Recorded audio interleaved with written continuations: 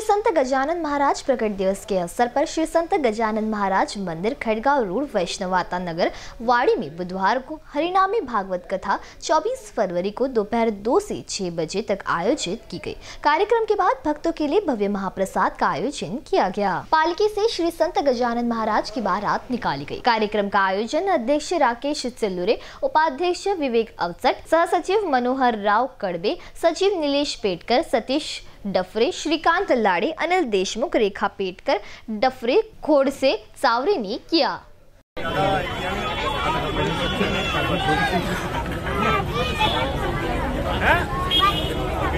नाही तर भात नाही ना। नाही हे। घेतलं ना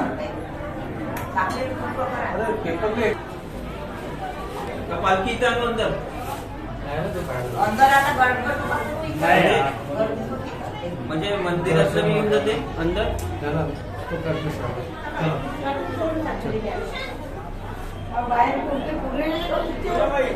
ते पालखीच्या काढून टाक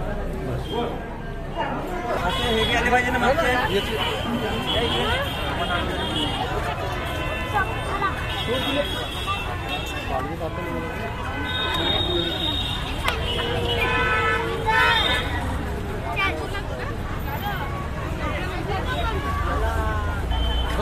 कल्याण महाराज की जय